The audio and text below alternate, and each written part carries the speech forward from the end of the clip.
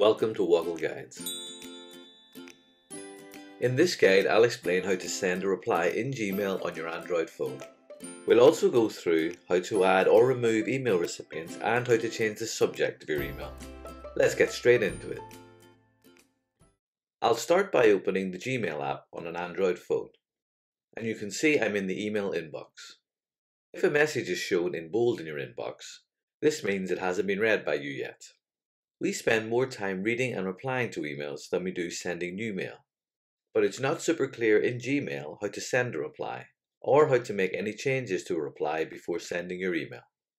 In Gmail, to do anything useful with an email we've received, we first need to open it.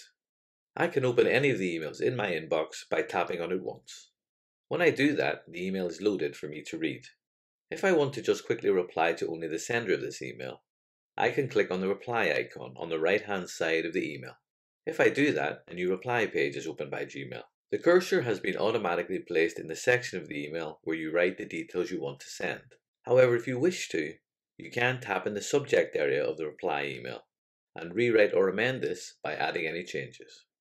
Once we're happy with that, we can then quickly write a response and then send that email off by clicking once on the blue arrow icon in the top toolbar of this page. Gmail then confirms that your reply has been sent. You may, however, want to reply to more than one person in an email.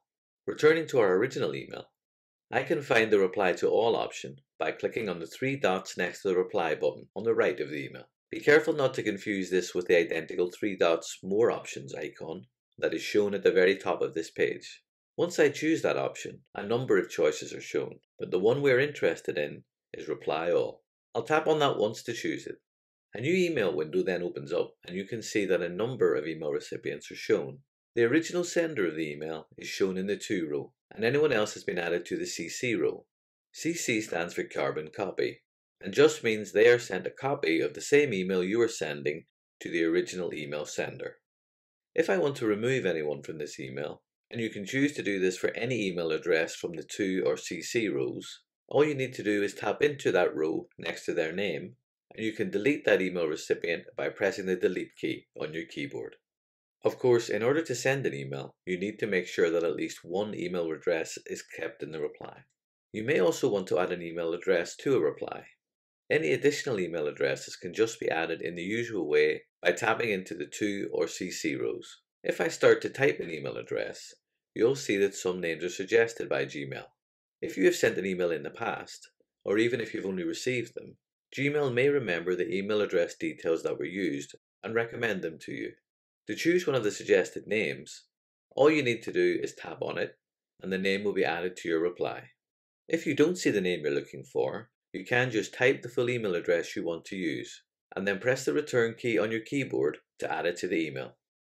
There may also be circumstances where you want to send a copy of the email to someone, but you don't want everyone in the email to know that they have seen the email. To do that, we use a hidden row called BCC. BCC stands for blind carbon copy, and you can open this row by tapping on the down arrow shown to the right of the to row. If I tap into the BCC row, I can add an email address in the usual way. They will receive a copy of the reply, but no one else who receives the email will know that they have seen it. As before, I can also tap into the subject line and choose to make any changes in the email title. In this case, however, I'll just write a quick response and I'll send that off by clicking once on the blue arrow icon in the top toolbar of the page. As before, Gmail confirms that the reply has been sent. I hope you found this Woggle guide useful and learned something new. If you have, please like or subscribe so that other users can find it too. Thanks so much for watching.